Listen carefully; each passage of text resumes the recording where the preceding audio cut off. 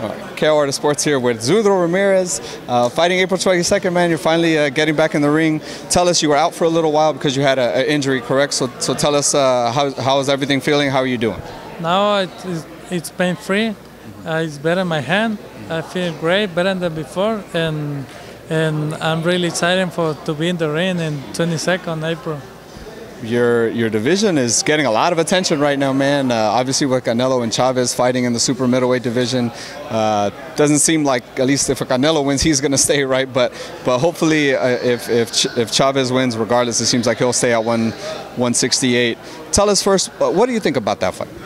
I think uh, that fight is, is good for, for all the people, for the fans, the, the boxing fans, and I expect a very good fight for them, and I hopefully they, they win the, in the best in, in that fight.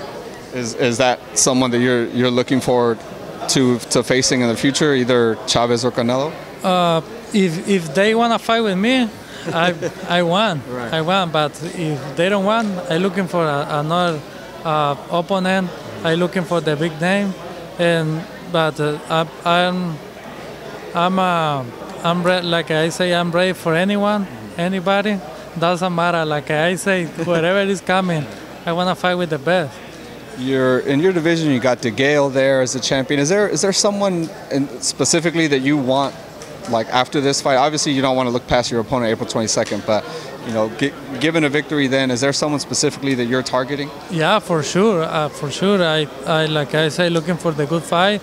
First thing of first for this uh, this fight, and after that, I looking for the the championship. Uh, like DeGale, if they wanna fight with me, if they wa- he wanna fight in in in, the, in his country, I fight.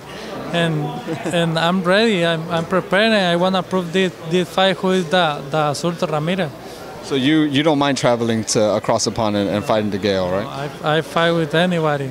What, what did you think about that fight, uh, DeGale's last fight versus? Um, I, I remember thought I think uh, this fight, he, um, Badou Jack, he, he, he won the fight, and but is uh, ab- about the the the, the, the judges, they they give uh, like uh, how do you say it? a draw. like drop yeah like drop and I don't know why but it's, Uh, definitely want to ask you, just kind of going back to Canelo Chavez.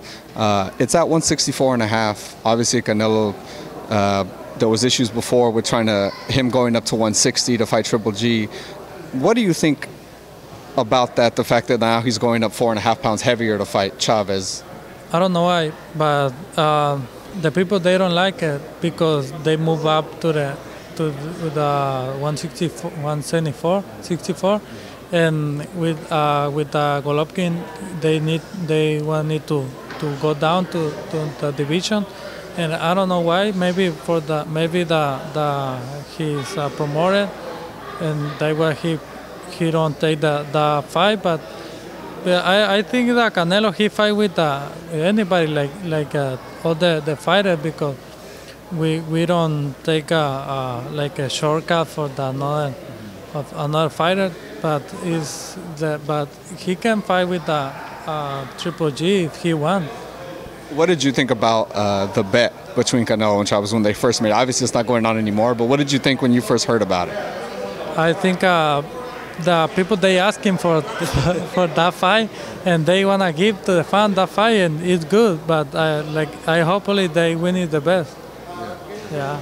Well, we're looking forward to seeing you April 22nd, uh, top ranked pay per view, and uh, and yeah, thank you, man, for the time. I appreciate it. Thank you. Thank you, brother. Thank appreciate it. Your English is getting really good, bro.